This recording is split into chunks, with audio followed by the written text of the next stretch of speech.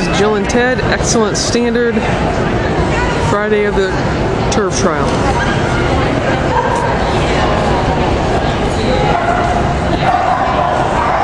Whoops.